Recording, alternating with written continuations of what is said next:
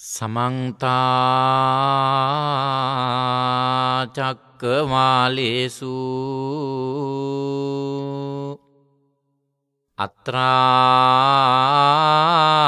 අත්‍රාගච්චන්තු දේවතා සද්ධම්මං මුනිරාජස්ස සුනන්තු සග්ග මොක්කදං ධම්මසවන කාලෝ අයං බදන්තා ධම්මසවන කාලෝ අයං බදන්තා ධම්මසවන කාලෝ අයං බදන්තා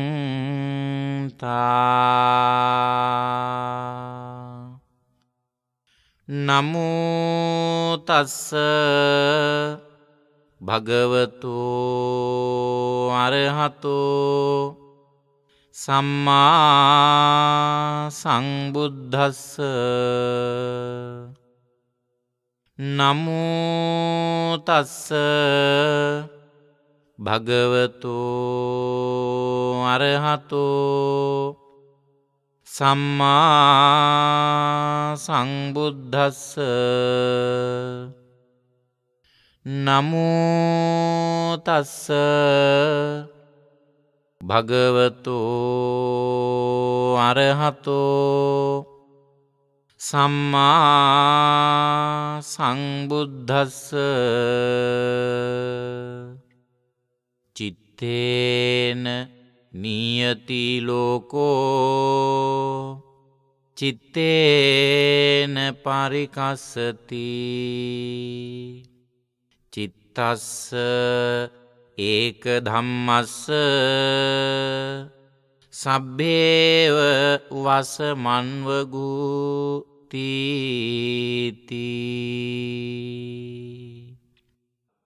පින්වතුනි මේ ලෝකයේ බොහෝ දේවල් යම් යම් රටවල් වලට පමණක් ආවිනික දේවල් තිබෙනු. සමහර දේවල් තියනෝ ඒ ඒ ජනකොට්ටාසවලට පමණක් ආවේනික දේවල්.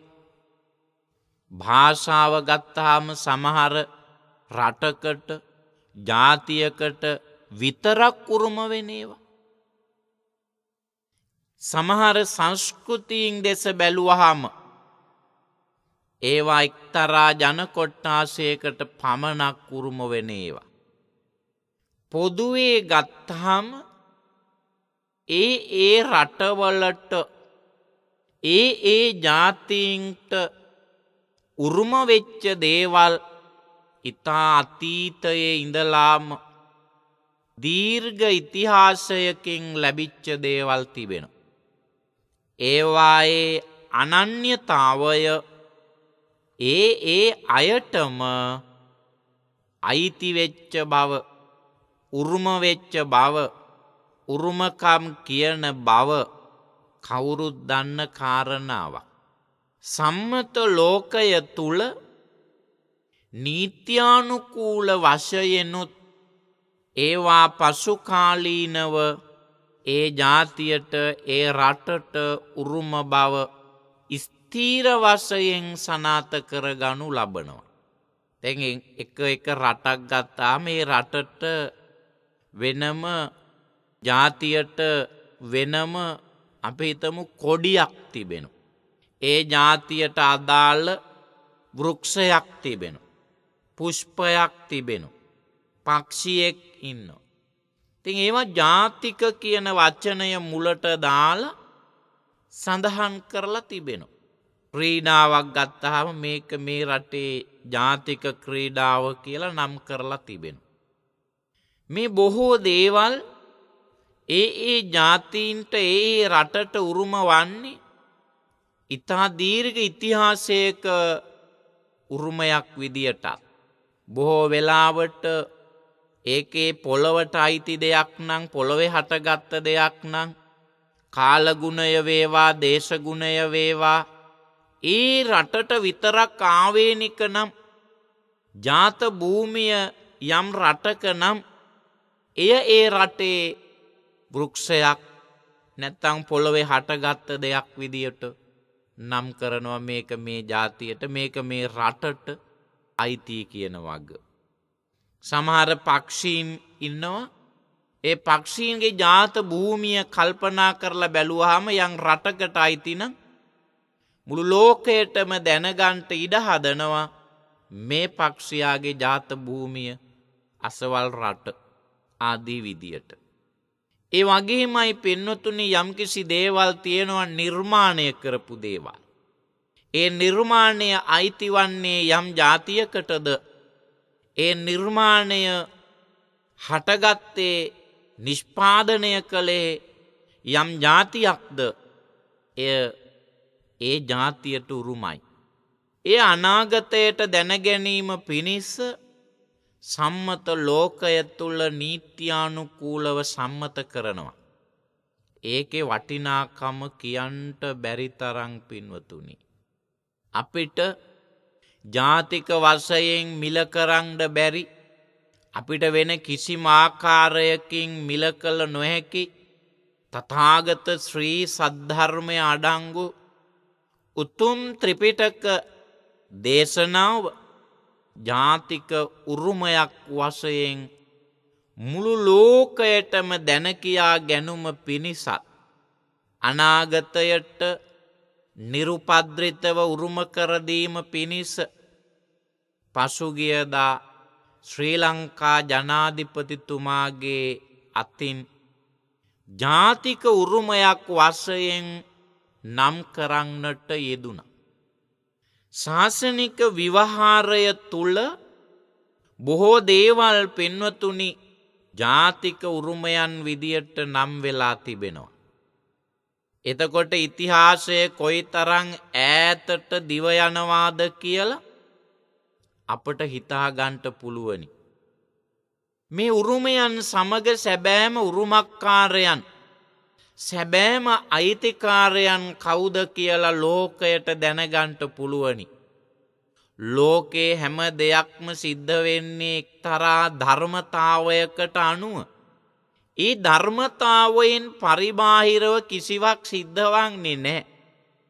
සබා ධර්මය බලන්ට විශිෂ්ට ධර්මතාවයක් තිබෙනවා. ඒවා පාලනය වන ක්‍රියාත්මක වන විදිහක් තිබෙනවා. මිනිසුන්ගේ සිතුම් පැතුම් කොයි විදියට සිද්ධ වනත් මේ ධර්මතාවය විසින් බොහෝ දේවල් වෙනස් කරනවා. මිනිස්සුන්ගේ සිතුම් පැතුම් අනුව යම් යම් දේවල් තම තම අභිමතය පරිදි තම තම රුචිකත්වය පරිදි යම් යම් කිසි විදිහක වෙනසකට විකෘතියකට පත් කළේ නමුත් ධර්මතාවය විසින් සුදුසු තැනේදී සුදුසු ආකාරය පාවිච්චි කරලා නිවැරදි තත්ත්වය ඉස්මතු කරනවා ඒක තමයි ධර්මතාවය කියලා කියන්නේ පින්වතුනි. ත්‍රිපිටකය ජාතික උරුමයක් වසයෙන් නම්කිරීම තුළ බලන්ට අපිට මොන තරංනං උරුමය තවදුරටත් තහවුරු වෙනවද කියන වග. මං මතක් කලා පින්වතුනි ශාසනික විවහාරය තුළ සඳහන් වන බොහෝ දේවල් ජාතික උරුමයන් වසයෙන් ජාතියකට අයිතියක් ඇතිදේ වශ්‍යයෙන් නම් කෙරිච්ච අවස්ථා තිබෙනවා කියලා. ශාසන ඉතිහාසයේ ඒ ඒ තථාගත බුදුරජාණන් වහන්සේලා විසින් ස්වකීය බුද්ධත්වය උදෙසා උපකාරී කරගන්නට යෙදුන වෘක්ෂ නම් කරන්නේ බෝධීන් වහන්සේල විදියට බෝවෘක්ෂයන් විදියට. අටවිසි බුදුරජාණන් වහන්සේලාගෙන් වැඩිමනක් තථාගත බුදුරජාණන් වහන්සේලා පිටදී ඇති එකවම එකම වෘක්ෂයක් නම් පින්වතුනි ඒ තමයි නාගස. නාගස අටවිසි බුදුරජාණන් වහන්සේලාගෙන් හයනමක්ම පිටදී වදාරන්නට යෙදුන. උන්වහන්සේලාගේ නේත්‍රපූජාව තුළ බෝධි කියන ගෞරව නාමය සහිතව වන්දනයට පූජනයට ලක්වෙච්ච බෝධීන් වහන්සේ නමක් බෝවෘක්ෂය. එය ලංකාවේ ජාතික වෘක්ෂය බලන්ට කල්පනා කරලා ශාසනික වස්සයෙන් ලබන ඒ ඓතිහාසිකත්වයට ලැබිච්ච සැබෑම උරුමය කොහොමද කියලා. මට මතක් වෙනවා පින්වතුනි ආටානාටිය සූත්‍රය තුළ දක්වන එක්තරා අවස්ථාවක කුකුත්තකා කුලීරකා වනේ පොක්හර සාතකා විදියට බලන්ට ලංකාවේ ජාතික පක්ෂියා පිළිබඳව ආටානාටිය සූත්‍රය තුළ දක්වපු හෙට. වන්නේ පොක්කර කියල සඳහන් කරේ වන්නේ පොක්කර සාතක වලිකුකුලා. ජාතික පක්ෂයා බවට කවුරුත් පිළි අරගෙන තිබෙනවනි. එය ගැසට් කරලා තිබෙනවනි. ශාසනික විවහාර ජාතික උරුමයන් බවට පත් වනේ ඒ සඳහා ජාතියක් විදියට අපිට තියෙන හැබෑම උරුමය නිසා. මොන මොන විදිහේ දෘෂ්ටී දැරුවත් මේක තමයි ධර්මතාවය කියලා කියන්නේ. ඒ ධර්මතාවයෙන් පිට පනින්ට කවුරු උත්සාහ කළත් පින්වතුනේ ඒක නිරර්ථක උත්සාහයක් විතරයි. ඒ නිසා තවදුරටත් අපි සියලු දෙනාට මේ ශාසනය තුළ තථාගත ශ්‍රී සද්ධර්මය අනාගතයට උරුම කරලා දෙන්ට යමෙක් එය නසන්ට විනාශ කරන්ට උත්සාහවත් වෙනවා නම් එයට සම්මතය තුළ ලබාදෙන්ට ඕන කරන රාජතාන්ත්‍රිකව ලබා දෙන දඩුවන් නියම කරංට තරන්. බල සම්පන්න අවස්ථාවක් බවට පත්වෙනවා. එනිසා ත්‍රිපිටකයෙන් අසවල්පිටකය බුද්ධ දේශනාවක් නොවේය කියලා ප්‍රකාශයට පත් කළොත් කවුරු හරි දැන් ජාතික උරුමයක් නීත්‍යානුකූල වශයෙන් එය සටහන්ව හමාරයි. ඒ නිසා මේ පිටක තුනෙන් එකක් ගලවලා එය දෙකක් කරන්ට කාටවත් බෑ. කිසිවෙකුට පුළුවන් කමක් මෙන්න මෙහෙම ලැබිච්ච මේ වටිනා කම පිළිබඳව අපි සියලු දෙනාම බෞද්ධයන් වශයෙන් කොහොම සතුරට පත්වෙන්ට ඕන කරන. ප්‍රමාදවී හෝ මේ අපිට ලැබුණේ ඉතා වටින්නම අවස්ථාවක් අපිට උරුම දෙයක් එනිසා ඒ පිළිබඳව අපි කවුරු කවුරුත් වගකිය යුත්තන්ට ඇප කැපවෙච්ච කාටත් ආශීර්වාද කරන්ට මේ අවස්ථාවක් කර ගම්. පින්වතුනි අපි අවධානය යොමු කරමු අපේ බදාදා ධර්මදක්ෂිනාවේ මාතෘකාවට.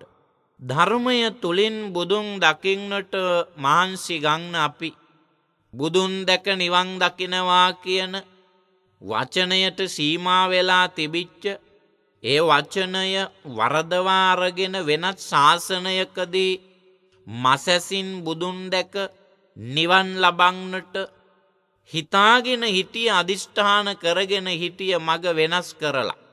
මේ ශාසනය තුළ නිර්මල ධර්මයක් තබාගෙන ඒ ධර්මය තුළින් බුදුන් හොයන්නට පුළුවන්කම තබාගෙන මසැසින් නොව මනසින් බුදුන් දැක නිවන් දකින්නට නම් ධර්මය දකින්ට ඕන කියලා. ධර්මය දැකීම තුළ ඒ බලාපොරොත්තුව සපල කරගන්ට හැකිය කියන උතුම් සම්බුද්ධ දේශනාව අපි ඇත්තක් කර ගැනීම පිණිස එය අපේ ජීවිතය තුළදීම අත්දැකීමක් බවට පත්කර ගැනීම පිණිස මහන්සිගන්න අවස්ථාවක්. ඒ වෙනුවෙන් ජාතියේ නාලිකාව ලබා දෙන පුුණ්්‍යවන්තම අවස්ථාවයි ධර්ම දක්ෂිනාව කියලා කියන්න. මේ මාතෘකාව යටතේ ලෝතුරු තතාගත මගේ බුදුරජාණන් වහන්සේගේ නව අරහාදී බුදුගුණ ටික මෙනෙහි කරන ඒ නවාරහාදී බුදුගුණ තුළින් ලෝතුරු බුදුරජාණන් වහන්සේව හඳුන ගංට මහන්සි ගන්න පින්වන්ත ඔබාපි හැමෝටම පසුගිය සතිය වන විට අපි පැහැදිලි කරලා හමාර කරංට යෙදුනා භාග්‍යවතුන් වහන්සේගේ සුගත කියන උතුන් ගුණය සම්බන්ධ සුගත ගුණයක් සමග තතාගත ගුණය දීර්ගව විස්තර දැනකයා ගංට යෙදුණු පින්වතුන්ට අද සිට පැහැදිලි කරනු ලබන්නේ ලෝකවිදූ කියන උතුම් බුද්ධ ගුණය පිළිබඳව. පින්වතුනි ඉතා පෘත්තුල මාතෘකාවක්. ලෝකය පිළිබඳ දැනකයා ගැනීමනි ලෝකය කියන්නේ කුඩා දෙයක් නොවන වගේ කවුරුද්දන්නු ලෝකය මොනතරං විශාලද කියලා කාටවත් කියන්ට බැරිව තිබෙන. මේ මහා පෘතුල ලෝකය තුළ ඒ ලෝකයට අයිති දේවල් පිළිබඳව සැකවින් කිව්වොත් මේ ලෝකය පිළිබඳව අපි දන්නේ මොන තරං අඩුවෙන්ද. ලෝකය ගැන අපි දන්නේ කොච්චර ස්වල්පයක්ද. ඉතාමත්ම සුළු කොටසක් පමණ. එතකොට ලෝකය ගැන අපේ දන්න කොටස ඉතා අඩුයි නොදන්න කොටස ඉතා වැඩි. දන්න කොටස නොදන්න කොටසට වඩා මොනතරං ප්‍රමාණයෙන් වැඩිද කියලා කියන්ට බැරි තරමටම පින්වතුනි නොදන්න කොටස වැඩි. ලෝකයෙන් අපි දන්නා හරිය වතුර බින්දුවක දියබින්දුවක පමණ කියලා ගත්තොත් නොදන්නා ප්‍රමාණය මහාසාගරයේ ජලයට වඩා වැඩී කිව්වොත් ඒ උපමාවත් හරිනෑ. නොදන්න ප්‍රමාණ. දන්න ප්‍රමාණය වතුර බින්දුවයි කියලා ගත්තොත් නොදන්න ප්‍රමාණය මහසාගරය කියලා ගත්තොත් ඒ උපමාවත් ප්‍රමාණවත් නෑ. අපි දන්න හරිය එක වැලි කැටයක් කියලා ගත්තොත් නොදන්නා හරිය පොළොවෙ තියෙන සේරම වැලි කැට ප්‍රමාණයයි කියල ගත්තොත් ඒ ප්‍රමාණය ඒ උපමාවත් නිවැරදිනේ. දන්න ටික වැලි කැටයයි නොදන්න ටික මුළු පොළොවෙම තියෙන වැලී කියල ගත්තොත් උපමාව ඒත් ප්‍රමාණවත්නේ. මේ ලෝකය ගැන අපිට තියෙන දැනුම අපි පොළොවෙන් නියපිටට පස්්ටිකක් ගත්තහම මෙන්න මේ නියපිට තියෙන පස්්ටික තරං ස්වල්පයක්ය අපි ලෝකය ගැන දංනි. නමුත් ලෝකය ගැන නොදන්නා හරිය පොළොවේ තියෙන පස් ප්‍රමාණයටත් වැඩී කියල ගත්තොත් ඒ උපමාවත් ඒ තරම්ම නිවැරදි නෑ කියලයි පින්වත්නි පෙන්වන්ඩ පුළුවන්කමතියෙන්. ඒනං ලෝකයෙන් අපි දන්නා නොදන්නා ප්‍රමාණය දැක් දැක්වීම පිණිස උපමාවකුත් කියන්ට බැරිතර. තතහාගත මගේ බුදුරජාණන් වහන්සේ. ඒ භාග්‍යවත් අරියත් සම්යක් සම්බුද්ධ රාජනන් වහන්සේ සියලු ලෝකය සර්වාකාරයෙන්ම දැන වදාරංට යෙදුන. ඒ නිසා තමයි පින්වතුනිවුන් වහන්සේ ලෝකවිදූ කියලා කිය. සමස්ත ලෝකයම මේ මේ වශයෙන් අපි උපමාවසයෙන් අපේ දැනුම ලෝකයත් එක්ක සසඳන්ට ගිහිල්ල අපි දැන් තේරුම් ගත්තනේ දන්න ටික නොදන්නේවත් එක්ක ගත්තහම අප්‍රමාණයි නොදන්න ටික අප්‍රමාණ. එතකොට ඒ සියල්ලම පිළිබඳ තතාගතයන් වහන්සේගේ දැනුම මොනතරං ඉහළ මට්ටමක තිබුණාද ලෝකයේ දැනගතයුතු සියල්ලුන් වහන්සේ දැන්න දැක ප්‍රත්‍යක්ෂ ඥානයෙන් අවබෝධ කරංට යෙදුණ. අවබෝධ කරගෙනයි ලෝකයට දේශනා කරංට යෙදුනි. එතකොට ඒ භාග්‍යවතුන් වහන්සේ තුළ තිබිච්ච මේ ගුණය සලකාගෙන උන්වහන්සේට ලෝකවිදූ කියන නම ගුණයට අනුකූලවන විදියට යොදල තියනෝ පින්නතුනි විවහාර කරන. එතකොට මීට පෙර විග්‍රහ කරන්ට යෙදුන සම්මා සම්බුද්ධ කියන ගුණය ගැන මතකය ටිකක් නැවත ආවර්ජනය කරලා බලන්. ඒ තිබුණා සියල්ල දන්නා බව සම්මා සම්බුද්ධ කියන වච්චනයේ තේරුමට දක්වල තිබුණ.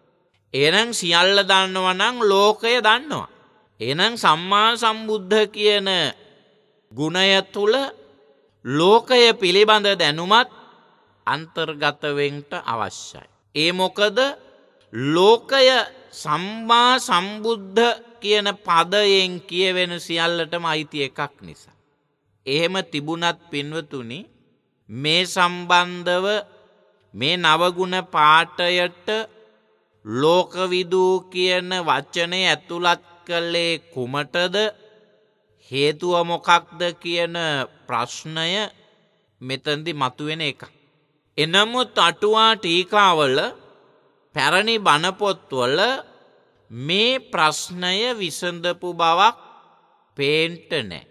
ඒ පිළිබඳව අතිපූජනීය රේරුකානේ චන්දවිමල මහනාහිමියන් වහන්සේ විසින් දක්වන්නට යෙදුණු කරුණු තමයි අපි මේ අනුශාසනාවේදි පැහැදිලි කරලා දෙන්නේ කියලා මීට පෙරාත්තුවත් පින්වතුන්ට සිහිපත් කරන්ට යෙදුණ.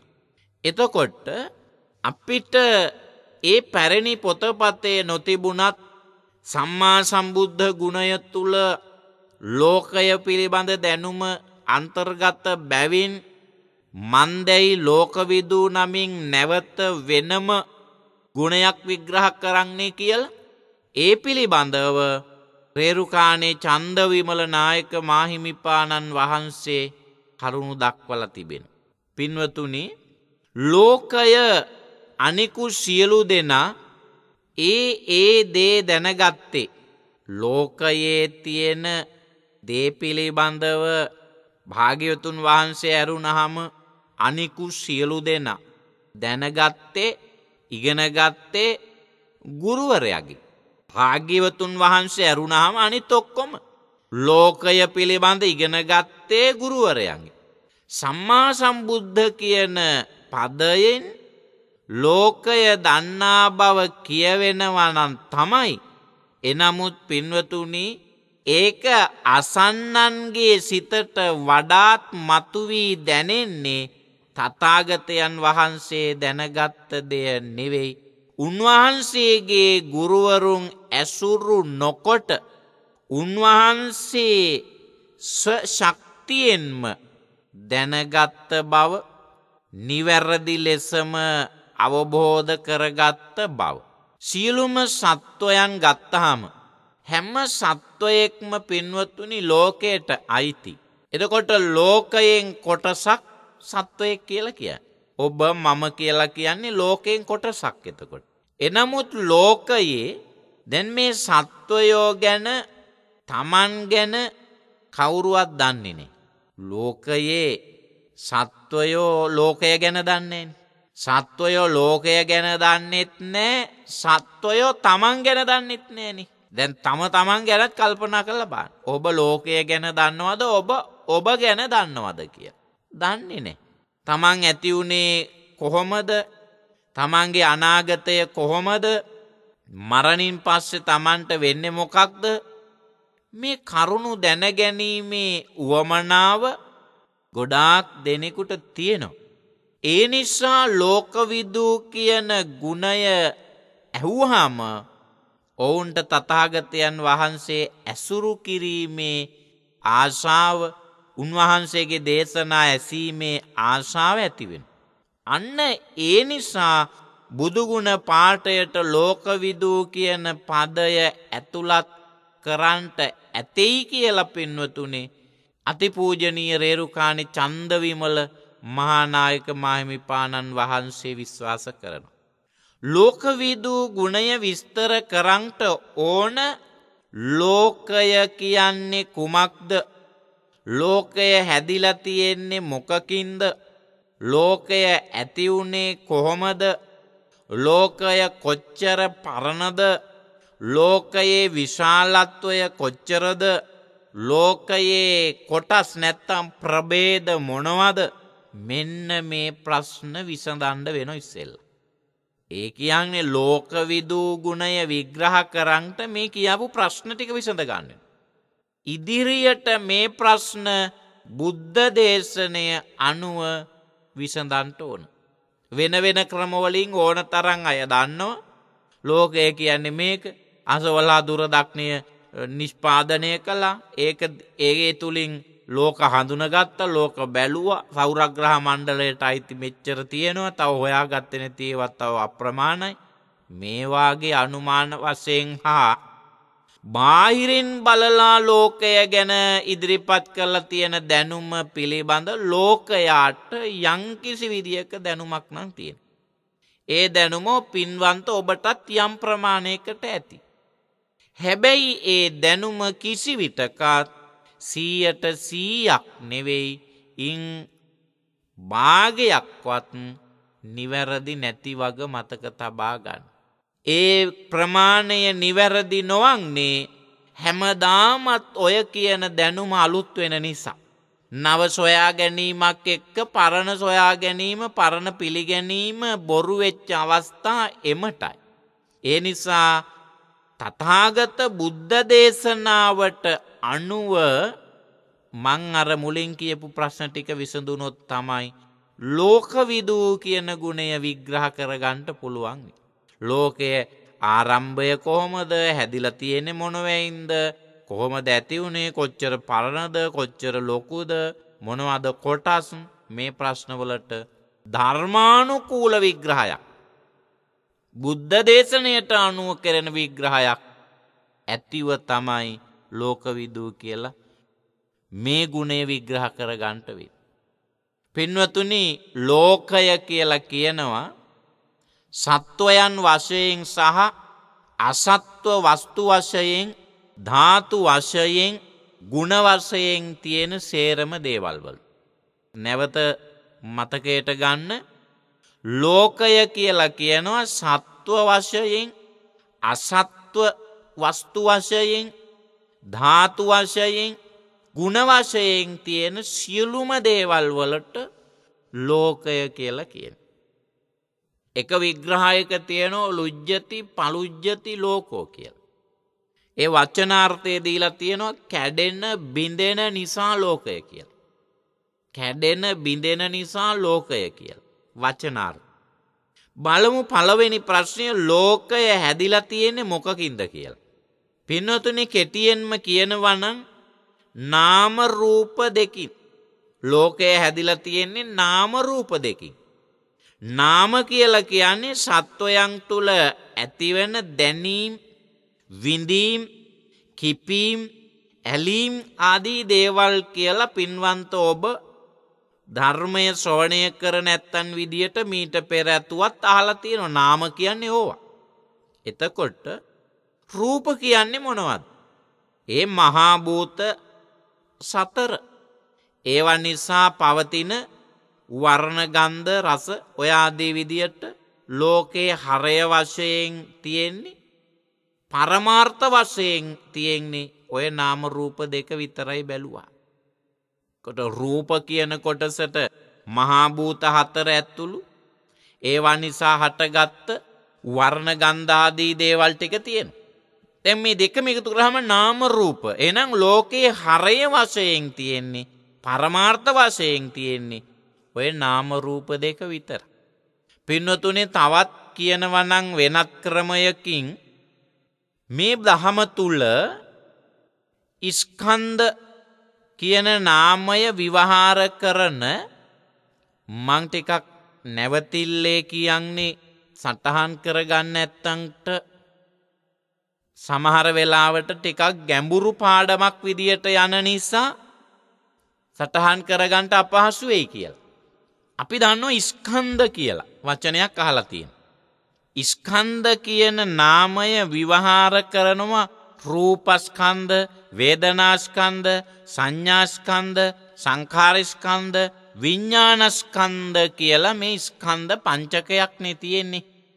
තකොට මෙන්න මේවායින් ලෝකය හැදිල තියෙනවය කියලා පිළිගණ්ඩ සිද්ධ වෙන. ලෝකය බෙදලා දැක්වාට පස්සේ ඒ තියෙන දේවල් හැටියට ලැබෙන්නේ බෙදුවහම ලැබෙන්නේ මේ කියන ස්කන්ධ පංචකය විතරයි. රූප වේදනා සංඥා සංකාර විඤ්ඥාන කියන ස්කන්ධ පංචක ඕක තමයි ලෝකය කියලා කියන්න. එතොට අර මුල් විග්‍රහයෙන් අතිරේකව මේක මුල් විග්‍රහය තුළකිවේ නාම රූප දෙක ලෝකය කියනවා. ඊළඟ විග්‍රහය තුළ කියන්නේ ඉස්කන්ධ පංචකය තමයි ලෝකය බවට පත්වෙන්නේ කිය. තවත් විදිහකින් කියනවනං පින්වතුනේ අපි දන්නවා ආයතන දොළහක් තිබෙන.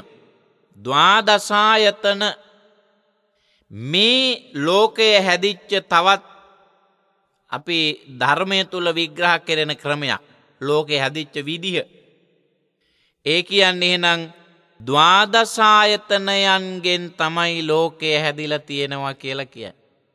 ආයතන දොළහ ඒ මොනවද චක්කායතන රූපායතන සෝතායතන සද්ධායතන ගානායතන ගන්ධායතන ජිව්හායතන රසායතන කායායතන පොට්ටබ්බායතන මනායතන ධම්මායතන දැන් බලන්ඩ චක්කු සෝත ගාන ජිව්හා කාය මන මේ කාරණාවන් වලට ගෝචරවනේවා ඇසට රූපය චක්කායතනය කියපු තැනම කිව්ව රූපායතන.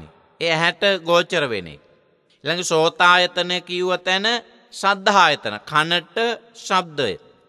ඒ විදියට දෙපැත්තේ හයහය එකතු වෙලා දොළහක් වුණ. දැන් ආයතන වශ්‍යයෙන්. ආයතන වශයෙන් ලෝකය විභාග කළහම ඔන්න හරය වශයෙන් ලැබෙන්නේ ආයතන දොළහ. එනිසා ද්වාදසායතනවලින් ලෝකය නිර්මාණය වෙලා කියලා පැහැදිලිව පේෙන්. දැන් බලන්ඩ ලෝකය කියන්නේ මොකක්ද කියලා ඡායාමාත්‍ර වසින් දැනටමත් හැ තේරෙන්ට අවශ්‍යයි. ඇස ගැන කියනවා රූපය ගැන කියනවා කණ ගැන කියනවා සද්ධය ගැන කියන. නාසය ගැන කියනවා ගන්ධය ගැන කිය. දිව ගැන කියනෝ රසය ගැන කියන. කය ගැන කියනවා ඉස්පර්ශය කියන මනස ගැන කියනවා ධර්ම ගැන කියනවා. ඒ ඇනේ සිතු විලි ගැන මනස ගැන කියලා මනසට එන ඒවා ධම්ම කියලා කිය. ති මේටික ලෝකය නම් ලෝකය කියන්නේ මොකක්ද කියලා දැන් කියවිලා ඉවරයි. කවුරු ගැනද කියන්නේ කියලා. දැන් ඔය ලෝකය ගැන උගන්නපු තවත් ක්‍රමයක්. තව තැනක පින්වතුනි අටලොස් ධාතුූන්ගෙන් ලෝකය නිර්මාණය වෙලයි කියලා කියෙන්. එන ධාතු දහටක් පිළිබඳව දැක්වෙන.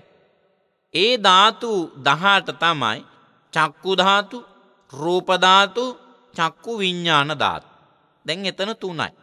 චක්කුධාතු රූපධාතු චක්කු විඤ්ඥාන ධාතු. චක්කුධාතුව රූපධාතුවත් සමඟ ගැටීම තුළ චක්කු විඤ්ඥාන ධාතුව හටගන්න. එනම් සෝතධාතුව සද්ධ ධාතුත් සමඟ ගැටීම තුළ සෝත විඤ්ඥාන ධාතුව හටගන්න. දැන් එතකොට බලඳ හය. ගානධාතු ගන්ධධාතු ගාන විඤ්ඥාන ධාතු. ජිව්හාධාතු රසධාතු ජිව්හා විඤ්ඥාන ධාතු. කායධාතු පොට්ටබ්බ ධාතු කාය විඤ්ඥාන ධාතු. මනෝධාතු දම්මධාතු මනෝවිඤ්ඥාන ධාතු. දැන් ධාතු ක්‍රමයෙන් ලෝකය කොටස් කරාම විභාග කරාම ඒකේ හරය වසයෙන් ලැබෙන්නේ ධාතු දහටක්න අටලොස් ධාතුව කිව එකයි. ධාතු අටලොසක්. එතකොට පින්වතුන ස්කන්ද ආයතන ධාතු විස්තර කරහම ලෝකය කියන්නේ මොකක්ද කියලා ලැබුණ. දැන් අභිධර්ම දේශනාවන් පිළිබඳ යං අවබෝධයක් තියෙන ඒ පිළිබඳවට එකක් හොයලා විමසලා බලාපු ඇත්තන්ට විශේෂයෙන් අභිධර්ම මාර්ගය විදර්ශනා භාවනා ක්‍රමය චතුරාරය සත්‍යය කියන ග්‍රන්ථවල පූජනීය රේරුකාණි චන්දවිමල නායකමා හිමිපාණන් වහන්සේගේ මෙන්න මේ අටලොස් ධාතු පිළිබඳව පැහැදිලි විග්‍රහයන් තිබුණ. එතකොට කෙසේ නමුත් දැන් මෙතන ලෝකය කියල එතකොට හඳුන්වල තියෙන්නේ නං කවුරු ගැනද කියලා බලන්න. තමන් ගැනයි මේ දක්වල තියෙන්. එතකොට ලෝකය හටගත්තේ කෙසේද කියලා ඊළඟට දැකින්ට ඕන. මොකද ලෝකය කියලා කියන්නේ මුලින්කිව සත්ව වශයෙන් සහ අසත්ව වස්තු වශයෙන්. ධාතු වශයෙන් සහ ගුණ වශයෙන් තියෙන සේරටමයි ලෝකය කියන්නේ කියල් දැන් සත්ව වශයෙන් ලෝකය ගැන කොටස් කරහම අපිට ඔය ධාතු විග්‍රහය තමයි ආව. තැන් ලෝකී ආරම්භය එනත ලෝකය ඇති වුණේ කොහොමද කියලා ගැඹුරු ප්‍රශ්නයක් තියෙන්. ලෝකෙ ඇතිවීම ගැන කල්පනා කරපු ගොඩාක් අය පෙන්වතුනේ හරි පුදුම තීරණවලට ඇවිල්ල තියෙනවා ශාසන ඉතිහාසය අපි අධ්‍යනය කරගෙන යනකොට පේනු. තැ සමහර කෙනෙක් කල්පනා කරනවා ඇඳ පුටුව මේසය ගෙවල් දොරවල් යානවාහන මේවා බැලුවහම කවුරු හරි විසින් ඒවා හදල තියෙන්. නැතුව ඒවා ඉබේ ඇතිවෙච්චේවා එහෙම නෙවෙයිනි. කවුරුවරි හැදුව ඇඳ හදපු කෙනෙක් ඉන්නවා මේතය හදපු කෙනෙක් ඉන්නවා. වානයක් හදපු කෙනෙක් ඉන්නවා ගෙයක් හදපු කෙනෙක් ඉන්නවා. ති මෙන්න මේ වගේ මේවා කවුරුවරි හැදුවේ නැතිවුණොත් ඉබේ ඇතිවෙන්නේ නෑනෙ. මේ විදියට විවිධාකාර සත්වයන්ගෙන් ගස්කොළංවලින් විවිධ වස්තුූන්ගෙන් යුක්තවන මේ ලෝකය කවුරුහරි කෙනෙක් විසින් හැදුවේ නැත්නම් මේ විදිහට ක්‍රමාණුකූලව ඇතිවෙන්ඩ බෑ කියලා විශ්වාස ගොඩ නැගුණ. ගොට ලෝකය මේ විදිහට ක්‍රමාණුකූලව ඇතිවී පවතින්නේ කාගෙ හරි නිර්මාණයක් නිසා. කවුරු හරි මේක ඇතිකරපු නිසා හදපු නිසාය කියලා හැදුන හදාගත්ත විශ්වාසයක්. දැන් වඩුවෙක් ඇඳක් හදනු. පුටුවක් හදනු. දැන් වඩුවෙක් ඇඳක් පුටුවක් හදන්න වගේ ද්‍රව්‍ය එකතු කරලා කපල කොටලා ද මේ ලෝකය හැදුවේ. තකට ප්‍රශ්නයක් ආව මේ හිතන අයට ඔවු එහෙම තමයි. ඇදක් හදන්න පුටුවක් හදන ද්‍රව්යකතු කරලා කපන්න ඕන කොටන්ඩ ඕන වද්දන්ඩ ඕන ඒ විදියට කරන්න ඕන කරන්න කෙනෙක් ඉන්ඩත් ඕන. එනම් ලෝකයත් එහෙම තමයි හදන්ට ඇත්තේ කවුරු හරි කෙනෙක්. මේක තනන්ඩ හැකිවෙන්න සිතීම් මාත්‍රය සිතුවිල්ල ඒ සිතීම් මාත්‍රයෙන් ඒ ඒ දෙය නිර්මාණය වීමේ බලයක් ඇති පුද්ගලයකු වෙන්ට ඕන ඔන්න බලන්ඩ එන තැන. දැන් මේ ලෝකය ඇතිවුණේ කොහොමද කියන ගැඹුරු පැනයට ප්‍රශ්නයට සමහර අය උත්තර හදාගත්ත හැටිබේ කියන්නේ ලෝක ඉතිහාසේ. එතකොට මේක හදන කවුරු හරි කෙනෙක් කෙන යාට හිතන්න පුළුවන් අයිය තියෙන කෙනෙක් එයා හිතපු විදියට එයා හිතලා ඒ ද්‍රව්‍ය ඒ කොටස් එකතු කරලා ඒ බල සම්පන්න පුද්ගලයා මේ ලෝකය හදල තියෙන. තිං ඒ වගේ මහා බලයක් තියෙන කෙනෙකු මේ ලෝකයේ මිනිසුන් අතර පේන්න නෑ. ඒක නිසා මැවුන්කරු වෙනත් ලෝකයක වාසය කරන පුද්ගලයෙක්ම වෙන්ට ඕන කියල හිතුවා. ඔන්න ආපු තැන පින්නතුන්. ඒනං දෙවියන් වහන්සේය බ්‍රහ්මයාය ඊශ්වරයාය අල්හාක් ආදී වශයෙන් මේ අය ඔවුන් මැවුම්කරුවන් වසයෙන් තබාගන්ට යෙදුණ.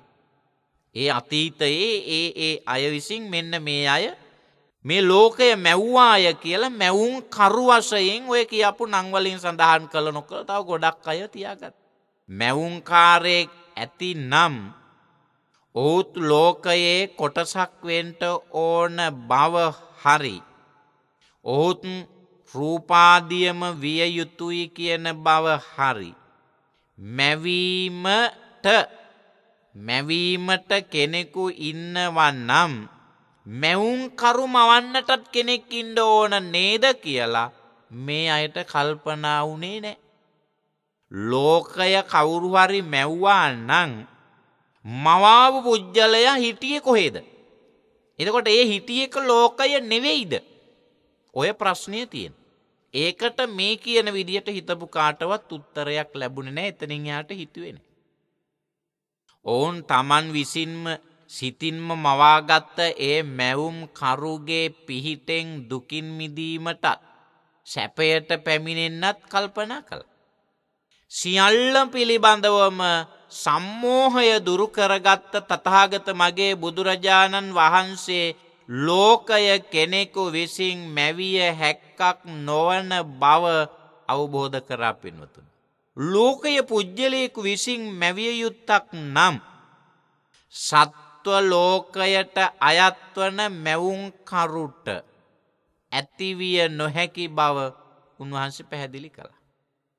බීජයෙන් ගසත් ගසෙන් බීජයත් ඇතිවීමෙන් ගස් පරම්පරාව නොසිඳී පවතිනවා වගේ පළමු පළමු පහළවෙච්ච සංස්කාර නිසා පස්සෙ පස්සෙ සංස්කාර පහළවීමෙන් සත්වලෝක සංස්කාරලෝක අවකාශලෝක කියන ලෝකත්‍රය පවතින බව භාග්‍යතුන් වහන්සේ පින්නතුනි ප්‍රත්‍යක්ෂ වශයෙන්ම අවබෝධ කළා. මවන්නෙකු නැතිව සංසාරයේ නොසිඳී පැවැත්ම සිදුවෙන හැටි භාග්‍යතුන් වහන්සේ විසින් ක්‍රම කිහිපයකින්ම පැහැදිලි කරලා තියෙන. එක් භවයකදී ඇතිවන තන්හාාව නිසා මරණින් භවය සිින්දී යන්නේ නැතිව නැවත උපදිනවා. දැන් බලන්ඩ එක භවයකදී ඇතිවෙන තන්හාාව නිසා මැරුණට පස්සේ භවය කැඩෙන්නේ නෑ. භවය සිඳෙන්නේ නෑ. නොසිදී නැවතත් උපදින. උපන්නට පස්සේ ආයිමත් පින්නොතුනේ නැවතත් තන්හාාව තියෙනවා ඇතිකර ගන්නවා තන්හාාව හදාගන්න. ඒ නිසා මරණින් පස්සේ ආයිමත් භවයක් ලබනු. මෙන්න බලන්න මේ විදියට සංසාරය නොසින්දී දිගට පවතිනු. කර්ම කරහම ඒ කර්ම කරාට පස්සේ ඒවායේ විපාකය කර්ම කරාට පස්සේ ඒවායේ විපාකය ඇතිවීම් වශයෙන් නැවතත් උපදින්. ඇයි කරපු කර්මය බුක්තිවිඳින් උපදින්න එපේ. ඒක පිනක් වේවා පවක් වේව. ඒ අයිතිකාරයා එය භාරගැනීම පිණිස්ස එය බුක්තිවිඳීම පිණිස්ස ආයිමත් හටගන්න. දැන් උපන්නට පස්සේ හටගත්තට පස්සේ නැවතත් මොකද කරන්නේ ආයිමත් කර්ම කරන. මෙන්න මේ විදියට කර්මය නිසා විපාකයත් විපාකෙන් නිසා කර්මයත් ඇතිවෙමින් සංසාරය නොසිඳී දිගට පවතින.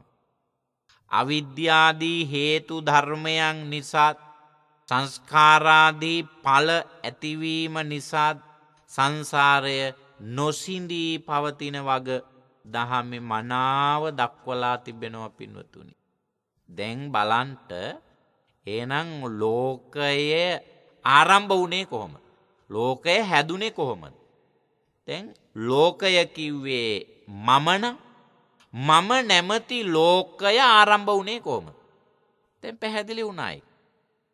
දැන් ලෝකයේ මුලක් හොයන්ට මහන්සි ගන්නවා.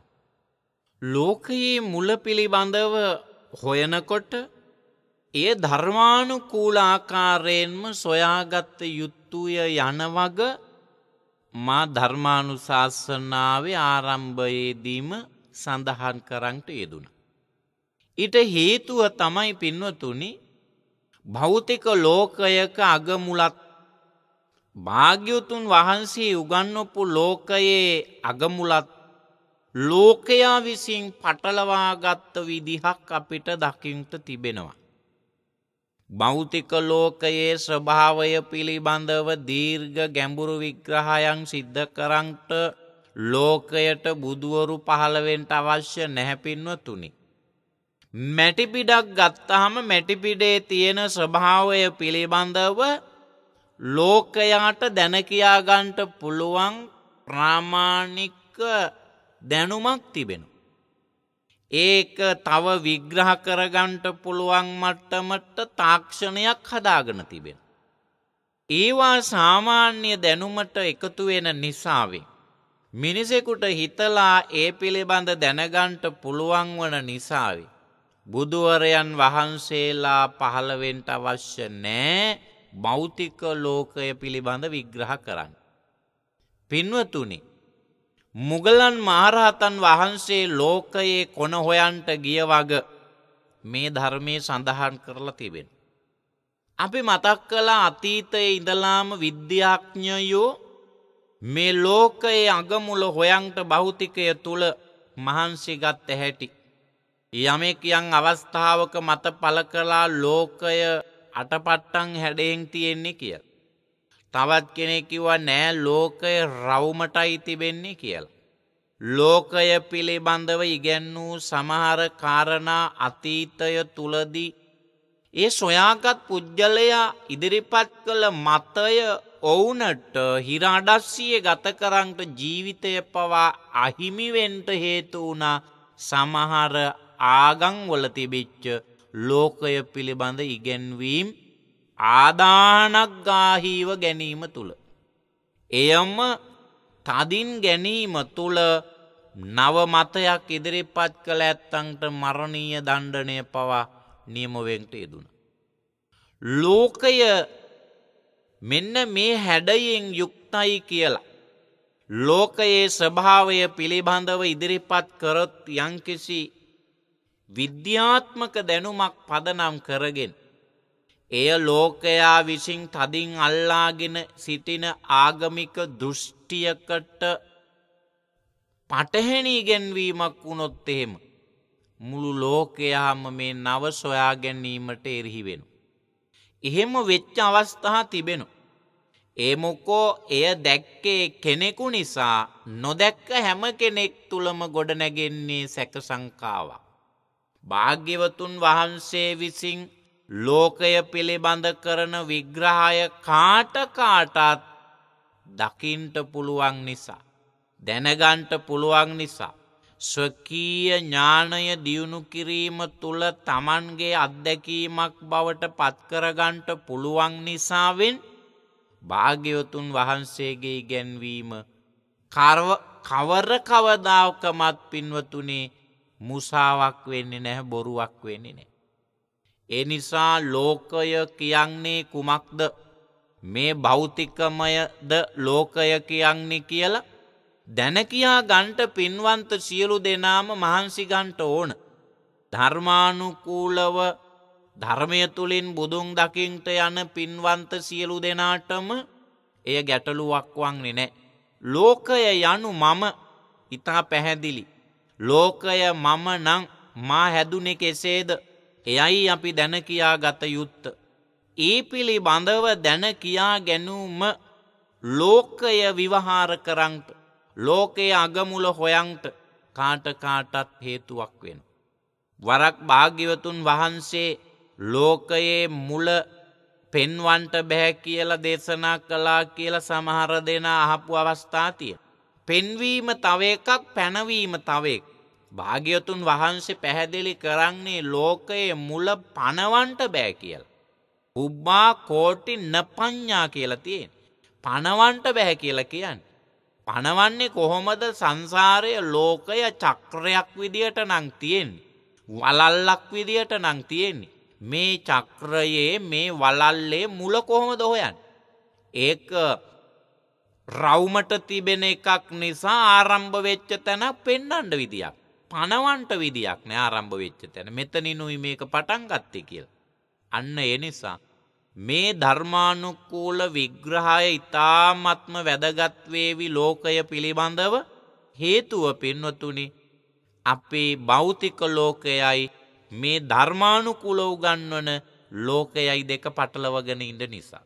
එය මැනවින් තේරුම් ගැනීම පිණිස තතහාගත මගේ බුදුරජාණන් වහන්සේගේ ලෝකවිදූ කියන උතුන් බුද්ධ ගුණය තේරුම් ගැනීමට පින්වන්ත ඔබට වාසනා උදාපත් වේවා. එතුළින් ලෝකය පිළිබඳ තිබෙන සියලු සැක සංකාවන් දුරුවේවා කියන පැතුම ඇතිව ධර්මානු ශාසනාව නිමා කරංට මත්තෙන් විශේෂයෙන්ම මේ වෙලාවේ අපි සිහිපත් කරනවා පින්වන්ත ඔබ වෙනුවෙන් නෙත්තෙෆෙම් දායකත්වයෙන් මෙවර පුර පසළොස්වක පොහොය පේරාදෙනිය සුබෝධාරාම විහාරස්ථානයේ සිට සජීවීව සියලු වැඩසටහන් විකාශය කිරීම සඳහා සූදානම් කරලා තිබෙනු. ඒ පුුණ්‍යවන්ත අවස්ථාව සමගම මෙවර දහට දහනමය විශ්ස දිනතුන පුරාවට ශ්‍රී සර්වඥ සම්බුද්ධ ධාතුන් වහන්සේලා ප්‍රදර්ශනය කිරීමේ කටයුත්තත් පුුණ්‍යවන්ත කටයුත්තත් සිදු කෙරෙන බැවින් අවට පින්වන්ත සිලු දෙනාටම වගේම සහභාගිවන්ට කැමැත්තක් දක්වන පින්වන්ත කාටත් මෙ උදාරතර පුුණ්‍යයක් ක්‍රියාවට පැමිණ සහභාගිවී තම තමන්ගේ පුුණ්‍ය සම්භාර ධර්මය වර්ධනය කරගන්නා ලෙස මේ වෙලා සිහිපත් කරනු ලබනවා. ආකාසට්හාච බුම්මට්ටා දේවානාගා මහිද්දිකා පුඤ්ඥන්තන් අනුමෝදිත්වා චිරංරක්කංතු ලෝක ශාසනං චිරංරක්කංතු දේශනං චිරංරක්කංතු මං පරංතිී